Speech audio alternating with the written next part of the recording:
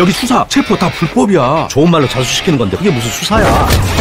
너 뭐야? 까불인데요. 까불고 있어. 똑바로 얘기 안 하고 뒤지는 거야, 알았어? 강혜사 스포과 동일해요. 한국인 살인 사건으로 인터폴도 쫓고 있더라고요.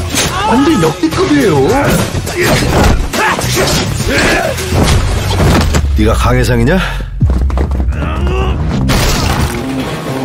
딱 한 번만 더 만나자. 내가 한국 강타. 형님 여기 찾은 것 같은데요?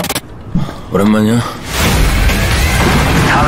차려. 눈치채면 끝난다. 넌왜 가져갔어? 그래 옛날에 장이수가 아이야. 자 다들 스탠바이. 오늘 강혜상 꼭 잡는다.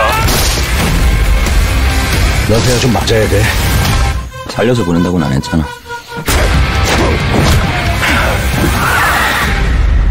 또 못 살게 구네. 개X네 진짜 이씨. 불렀냐? 아닙니다.